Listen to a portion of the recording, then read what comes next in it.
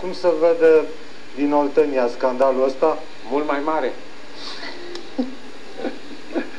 Doamna Vasilescu, dacă ne auziți, Să încerce să pună pe aici, prin Oltenia, vreun steag să vadă. acolo alte sunt problemele.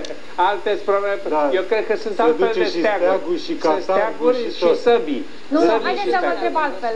Doamna primar, dacă comunitatea romă din Craiova, care este, după cum știm, destul de numeroasă, cel puțin după manifestări, acum nu știu ca număr de populație cât sunt, uh, ar dori să facă același În lucru. În Dumneavoastră- cartierul- Că știu după voturi, sunt 6.000, atât mai. Nu, nu. Bun. 6.000 de Da, oameni. doamna- Stați puțin, Doamna mai Vasilescu, o secundă. siguranță. știu cartierul, dacă îmi dai voie.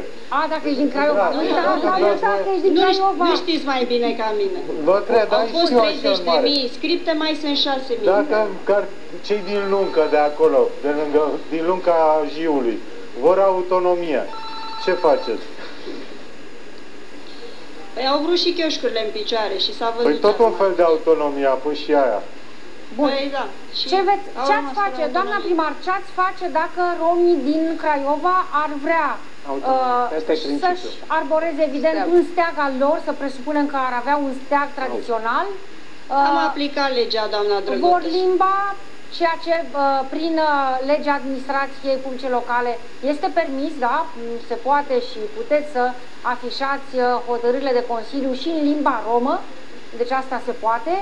Dacă ar dori armată proprie, dacă ar dori poate monedă proprie, Au eventual de armată aur, proprie pe acolo. Au. Dotarea e slabă, Am dar aplicat armata au. legea, doamna Drăgotescu, exact ceea ce trebuie să facă statul român acolo unde se impune.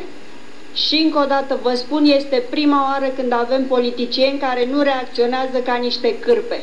Am văzut ce s-a întâmplat în ultimii ani prin Ardeal și n-am avut nicio reacție a statului român. Au venit bloggerii să se bată cu uh, acești indivizi în locul instituțiilor statului român. Iar domnul ambasador, îmi pare rău că sunt foarte departe de București, dar eu aș veni să-l ajut la împachetat. De mâine ar trebui să duc acasă. Ați auzit, domnule ambasador, opinia doamnei Lia Olguța Vasilescu?